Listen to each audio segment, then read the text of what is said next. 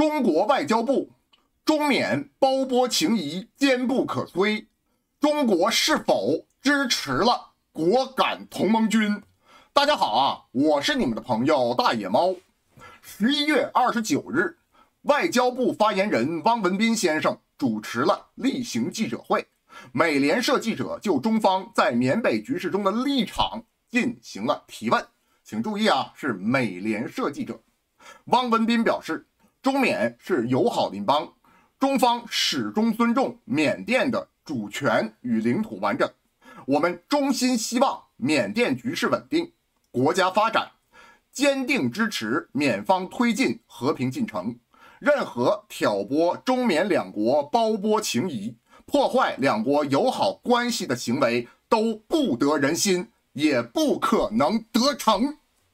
这是针对美联社记者的提问。所进行的回答怎么看？我认为说的非常合理，非常中肯。为什么这么说呢？那是不是就等于说中国支持敏昂莱军政府呢？从某种程度上解读，是的，因为无论怎样，敏昂敏昂莱政府代表着缅甸的日常政务，也就是合法正统。那个所谓的民族团结政府，只不过是一个影子反对派罢了。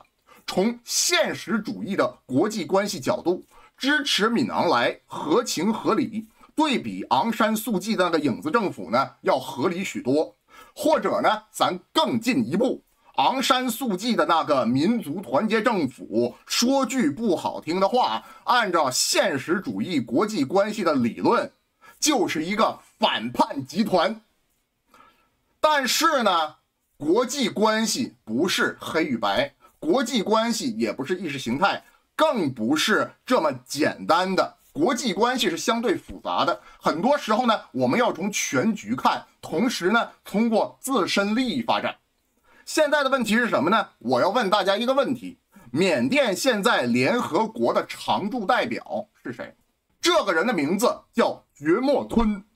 他是缅甸民族团结政府昂山素季一派的人，也就是从现实主义关系角度来说，反叛集团的代表。那这里边有个问题了，是谁把他留在联合国大会里呢？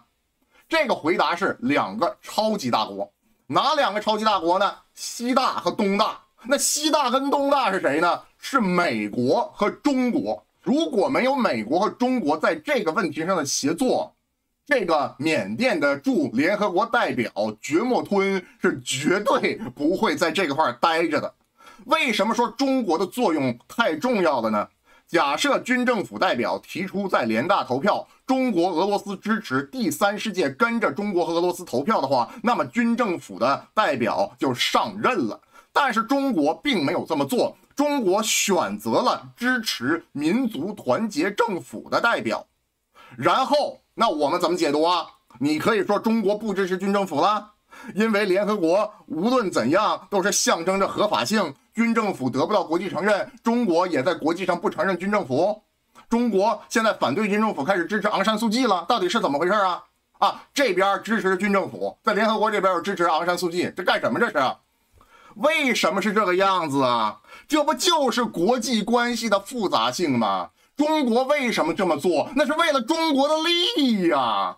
从一个政权的角度，中国支持敏昂莱军政府在内比都主政；从国际认同的角度，中国支持昂山素季在联合国的代表。为什么这样啊？还是那句话，看到祖国这么能干，这么有智慧，我就放心了。那为什么这么说呢？因为只有这样，在内比都的军政府他需要中国呀。因为没有了中国，再不被国际承认，那可就麻烦了。同时，在缅北山区的民族团结政府也需要中国呀。因为没有中国，他在联合国的承认不就没了吗？这就麻烦了。所以大家看到了，中国这么做，让缅甸不分伯仲的两派都需要中国，中国完美的实现了战略平衡以及在缅甸的自身利益最大化。难道这不是智慧吗？所以，我们大家呢看这个国际关系的时候呢，一定要从全局来看。另外呢，这条新闻说中缅包波情谊坚不可摧，任何破坏中缅关系的行为都不能得逞。这东西怎么说？这个东西怎么解读？那这个，那我就要问了，这个美联社记者到底问了个什么问题呀？我们得知道美联社记者是怎么问的，然后我们才说结合上下文来去分析这个东西。当你看到了一个文件之后，当你看到了一个。演讲之后，或者你看到的一段话，你一定要结合上下文。如果你不结合上下文，不结合当时的场景，那你在这个份问题上解读呢，肯定会有偏差。那这个美联社记者是问了这个问题，他这么说的：缅甸政府的支持者称啊，什么是缅甸政府的支持者呢？就是说敏昂莱军政府里里边的人，他们是这么说的：中国政府正在支持叛军在善邦的攻势。由于这种怀疑，缅甸甚至出现了针对中国政府的抗议。这个里边不就是说吗？缅甸的这个发言人左左左敏吞，然后左敏吞怎么说的？说我怀疑可能。果敢同盟军背后有人支持，然后呢，这个支持是谁？这是一种侵略行为。然后在内比都，在缅甸的大城市相相继爆发了小规模针对中国的示威游行嘛？他指的不就是这个吗？所以呢，这个美联社记者呢，很明显在这挖了个坑。然后他又说了一句：“专家表示，只有中国允许战斗发生，战斗才会发生。”那这个有点夹带私货了。为什么夹带私货了？那谁是专家？谁这么说的？中国允许战斗发生才会发生，这等于说中国可以控制缅甸，这结这肯定不是不是事实啊！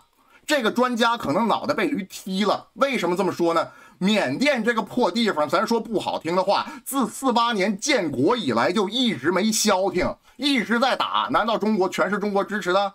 二零二一年军事政变之后，就一直打得像热窑似的。然后呢，跟中国好像也没啥关系啊。咱这么说，在中国边上给你放个刚果金，就这个很麻烦。然后这个美联社记者呢，就直接问了这么一个问题。发言人先生能否评价中方是否支持三兄弟联盟以及对军政府的攻势？啥意思？言外之意就是中国是否支持了果敢同盟军？咱这么说，外交上哪怕是支持，也不能说支持；哪怕是说是，也不能说是，也不能讲啊。这个大家要明白，大家都是成年人，大家都是成年人，外交场合不是小孩过家家，有些在明面上做的，有些在暗地里做的。在暗地里做的，我们不能把它浮出水面，把它浮出水面就完了，这个很正常。这美国难道不知道中国派了三十万人到越南吗？美越南战争的时候派了三十万，应该是工兵到了越南，美国难道不知道这个吗？美国知道这个，他能说吗？有些东西他不能说呀，你不能让它浮出水面啊，对不对？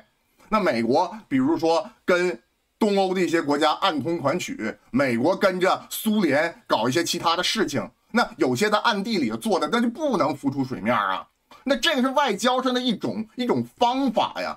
这种东西有时候你明白就明白，你不明白就不明白。你说有有人要问说，是你你认不认为中国支持了果敢同盟军？我说我不知道啊，我说我不知道。这个东西你就说什么呢？你它不是一个对与错的问题，它也不是一个是与否的问题。但是你问问题这个场合，它便成为了问题。明白啥意思吗？汪文斌这个回答是啥意思？就是无可奉告，你管那么多干嘛？你一个美联社的记者，你看看你们美国、俄罗斯、乌克兰现在没解决明白了吗？你整个北约都生产不过俄罗斯，你掉价不掉价？你看你这事儿烂尾了吧？现在说什么要在乌克兰把这个战争延长？咱这么说，你要把这当乌克兰把这战争延长，你是想干嘛呀？你是想整个把欧洲收割了是不是？然后巴勒斯坦、以色列这个事儿，你美国马上要陷进去了。你美国马上要陷进去了，你以为我们不知道？你一个航空母舰跑到波斯湾里去，那那叫耀武扬威吗？那是跪下来向人投降。美国派了一艘航空母舰跑到波斯湾里去，跑到波斯湾里边，那就是投降去了。你知道啥意思吗？汪文斌的回答是什么？你美联社记者关注一下自己好不好？别管那么多闲事儿，就是这个。而且呢，另外一个问题就是这个问题他问的很毒。为什么问的很毒呢？如果中国说是支持了果敢同盟军，那你不干涉内政这事怎么搞的？对不对？海外华人，尤其是美国华人，美国会怎么想？对不对？有些东西可以做，但不能说；有些东西说了，但不能做。明白啥意思吧？汪文斌的回答就非常非常合理。为什么非常非常合理呢？首先，中缅世代友好，什么意思？你们西方人来之前，中国跟缅甸就是友好邻邦，这是事实。第二个，尊重缅甸主权和领土完整，不像你们美国，你们在台湾这是怎么回事？在个巴勒斯坦这个，你成天说两国方案，你美国也没有落实啊，对不对？希望缅甸能稳定发展，什么意思？我管不了啊！我也希望他们能稳定发展啊，他们自己不想啊，他们自己在那打呀。言外之意就是说，中国不干涉缅甸的内政啊，你们随便打打无所谓，不要危害我的利益，不就是这个吗？然后支持推进和平进程，什么意思？如果你们想谈仰光内比都，你觉得不合适，那到北京来谈嘛。之前三月份沙特跟伊朗是怎么回事？不也在北京签了吗？你们两个也可以在北京签，对不对？